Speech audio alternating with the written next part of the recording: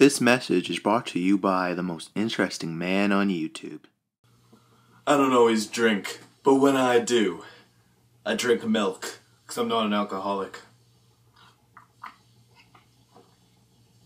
And it's healthy for you, too. yeah. I'm not drunk, you're drunk. Uh, give me the keys. I can drive. G- give me the keys. I'm all jacked up on milk.